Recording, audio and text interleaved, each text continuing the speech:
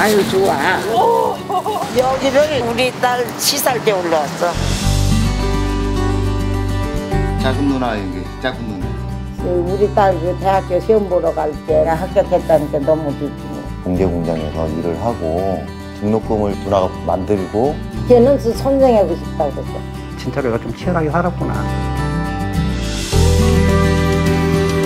그 왕십리도 최루탄 냄새가 끊이지 않는 그날 5시에 대학육장 앞에서 그랬지.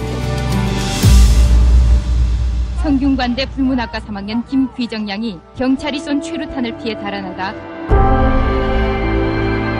하늘 무너졌지 뭘. 집에 오면 막 답답하니까 만날 문만 열으라고 문만 열으라고. 낮에는 좀 아주 강한 어머니로 생활을 하시는데